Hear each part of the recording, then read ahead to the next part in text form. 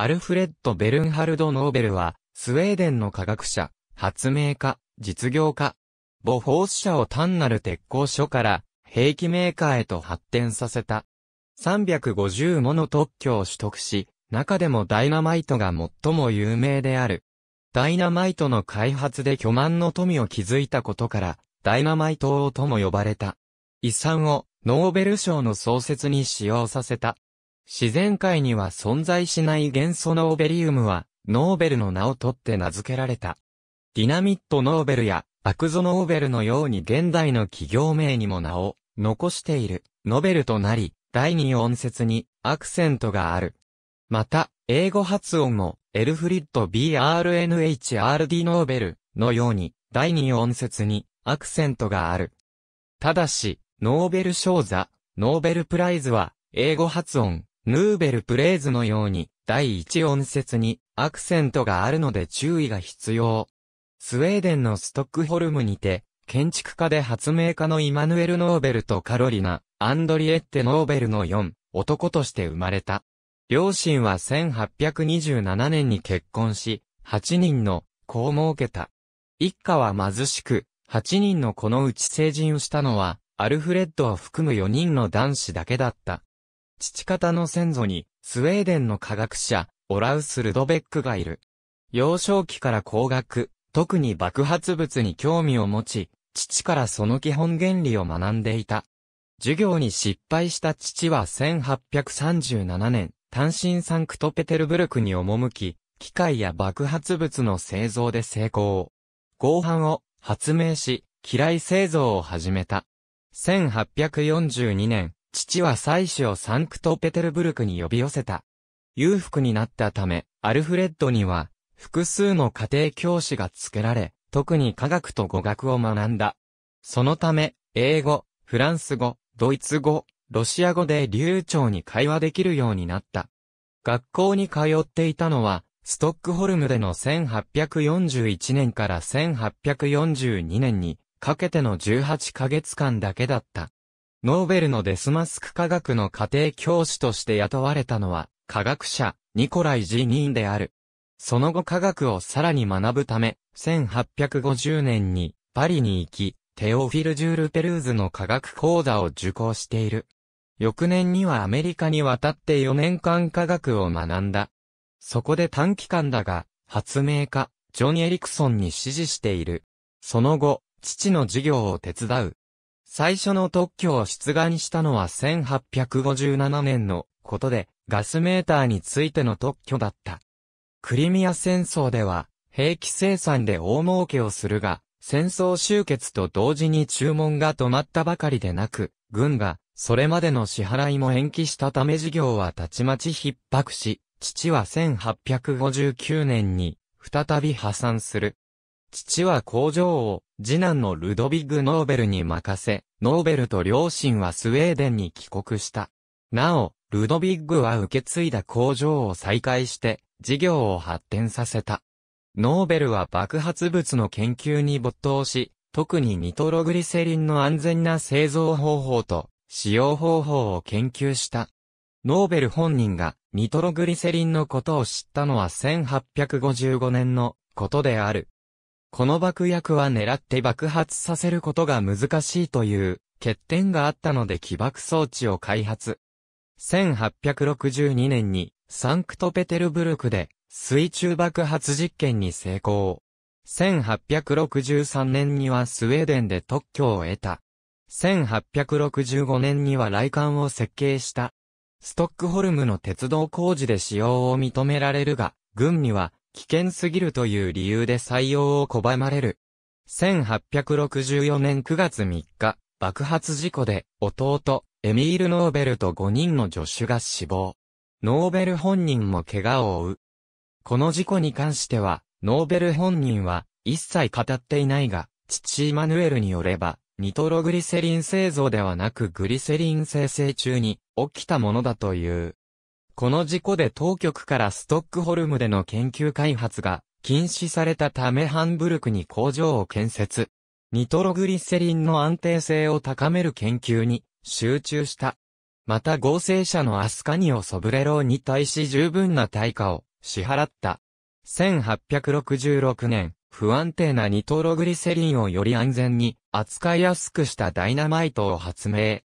彼の莫大な利益を狙うシャフナーと名乗る軍人が特許権を奪おうと裁判を起こしたがこれに勝訴し、1867年、アメリカとイギリスでダイナマイトに関する特許を取得する。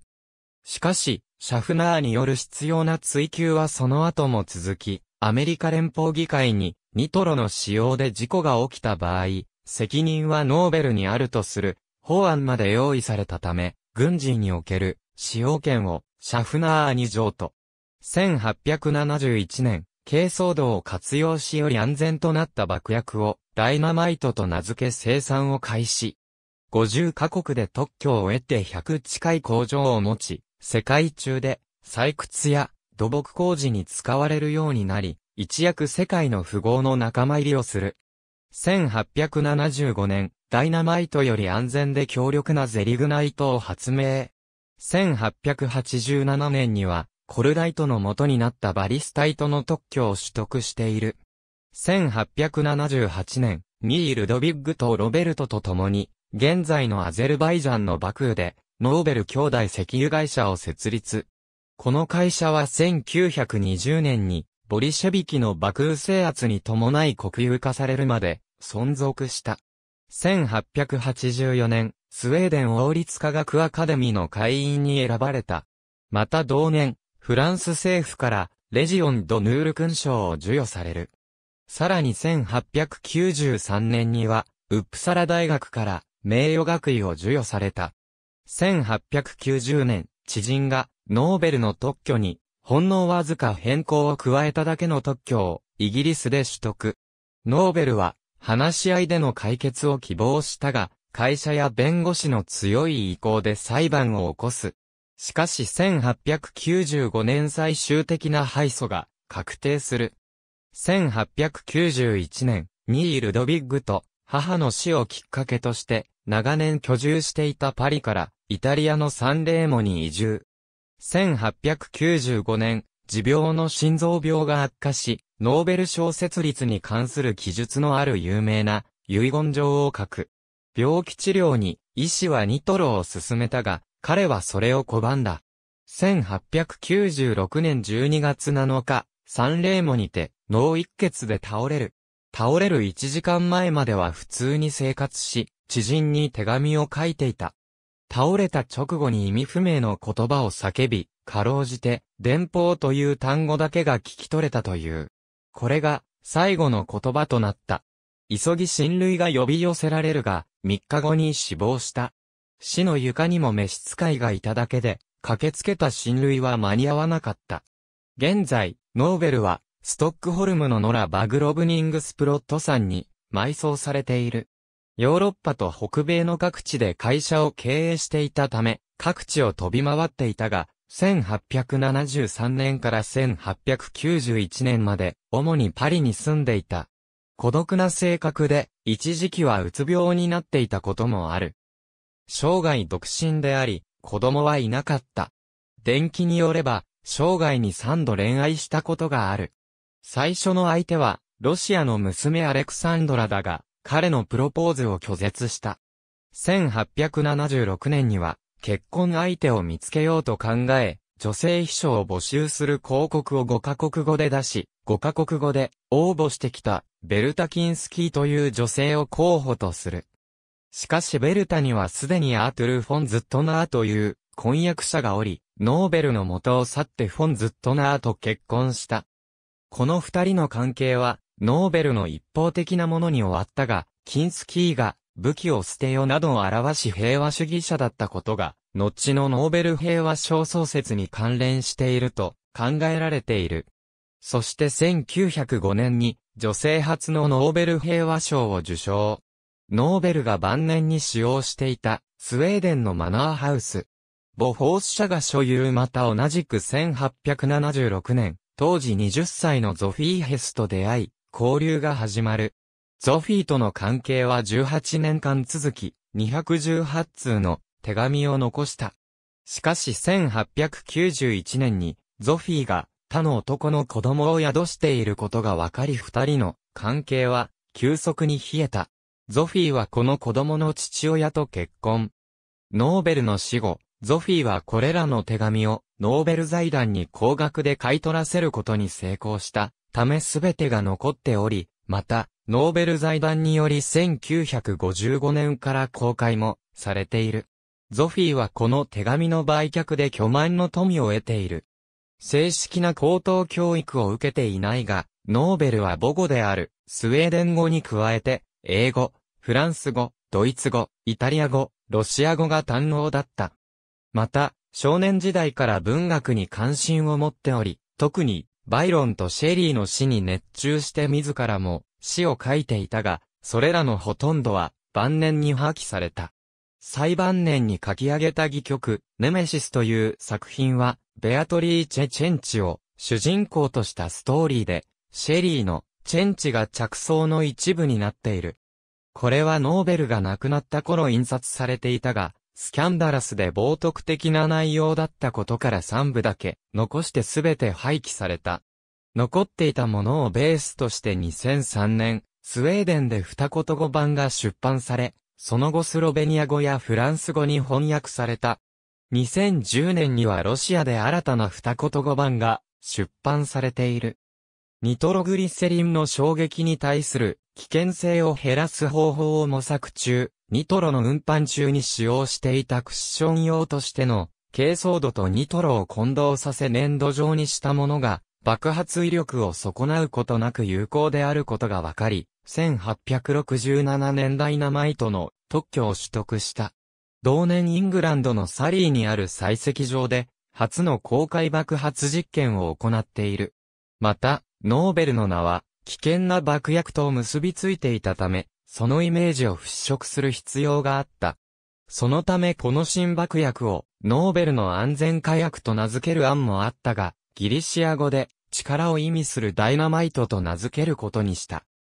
その後ノーベルはコロジオンなどに似た様々なニトロセルロース化合物とニトログリセリンの混合を試し、もう一つの硝酸ジオ爆薬と混合する効果的な配合にたどり着き、ダイナマイトより強力な透明でゼリー状の爆薬を生み出した。それをゼリーグナイトと名付け、1876年に特許を取得した。それに、さらに硝酸カリウムや他の様々な物質を加えた類似の配合を生み出していった。ゼリグナイトはダイナマイトより安定していて、掘削や採掘で爆薬を仕掛けるために開ける穴に詰めるのが容易で広く使われたため、ノーベルは健康を害したがそれと引き換えに、さらなる経済的成功を得た。その研究の副産物として、ロケットの推進剤としても使われている、無塩化薬の先駆けとも言うべきバリスタイトも発明している。アルフレッド・ノーベルの遺言書1888年4月12日、カンヌを訪れていた2位、ルドビッグが死去。この時、ノーベルと取り違えて、死亡記事を載せた新聞があり、見出しには、死の商人、シスとあった。さらに本文には、アルフレッド・ノーベル博士、可能な限りの最短時間でかつてないほど、体制の人間を殺害する方法を発見し、富を築いた人物が昨日、死亡したと書かれていた。ノーベルにとって、ダイナマイトが戦争で使われることは想定内であり、むしろ破壊力の大きな兵器は戦争抑止力として働くと予想していたが、実際には高性能爆薬の普及により戦争の激化を招いたことで、世間的には死の商人というイメージが広まっていた。これらのことからノーベルは死後の評価を気にするようになったという。1895年11月27日、財産の大部分を当てて、国籍の差別なく毎年授与するノーベル賞を創設するとした遺言状に署名した。税と個人への遺産分を除いた全財産の94%、3122万5000スウェーデンクローナを5部門のノーベル賞創設に割り当てている。これは当時の為替レートで168万7837ポンドに相当する。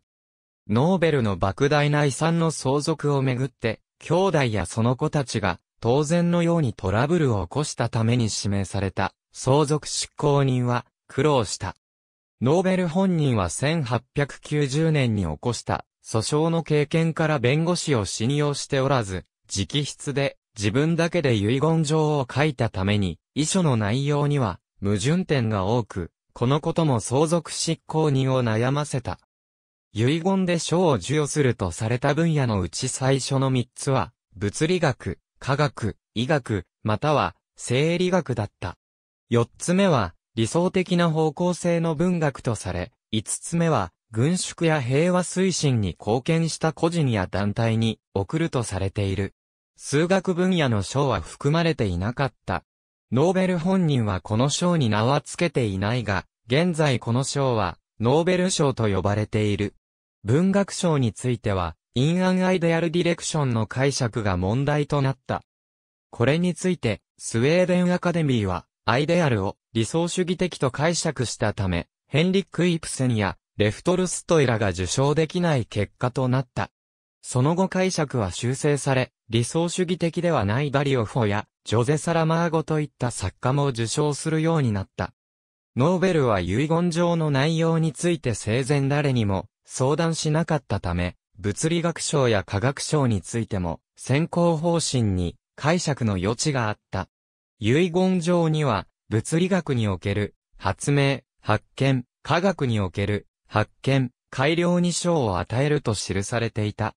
つまり、工学的貢献も念頭にあったとみられるが、科学と工学の区別については何も記されていなかった。ノーベルが先行者に指定した組織は科学寄りだったため、それらの賞は、工学者や発明家ではなく、科学者に与えられるようになった。2001年、ノーベルの兄弟のひ孫、ピーター・ノーベルが、スウェーデン国立銀行に対して、アルフレッド・ノーベルを記念した、経済学者への賞を上述の5部門とは区別するよう、依頼した。このことに現れているように、ノーベル経済学賞を、ノーベル賞に含めるか否かについては、議論がある。現在も、ノーベルの名を冠する会社は、欧州各地にあり、爆薬製造や化学工業を行っている。特にドイツのダイナミットノーベル社は、対戦車兵器パンツァーファウスト3や、ケースレスライフル H&KG11、溶弾薬など、現在も兵器の開発、製造を行っている。日本の菓子製造会社で大阪市久野区に本社があるノーベル製菓は、ノーベルの名を冠しているが、ノーベル本人とは、全くの無関係である。1949年に、湯川秀樹が、ノーベル物理学賞を受賞した際に、ノーベルの登録商標を取得、1959年に社名を、ノーベル製菓に変更しているためで、ノーベル製菓の初代社長が、湯川秀樹と交友関係であったことから、単にノーベル賞にちなんだ社名を付けただけである。ありがとうございます。